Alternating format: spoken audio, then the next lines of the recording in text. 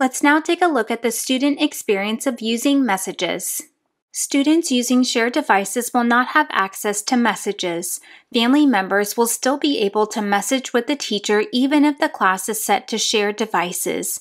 Students need a one to one sign in or a home learning code to use messages. Students access messages next to their name in the upper left hand corner. The Inbox tab is now the Notification tab and is where students will receive notifications about new activity in their class journal. Students in multiple Seesaw classes will see all messages from all classes here. As a measure of student safety, students can only participate in conversations started by teachers and school leaders. Depending on administrator settings, students can directly message their teacher with questions, participate in group chats started by their teacher, and participate in discussions with their teacher and connected family members.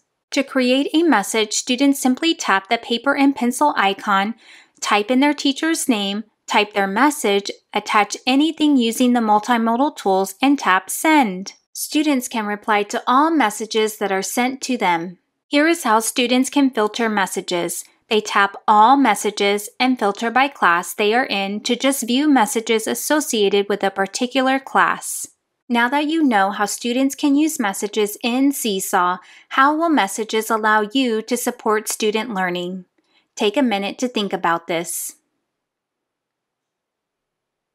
Now that you have learned how students use messages in Seesaw, continue to part 3 to learn about the family experience of using messages.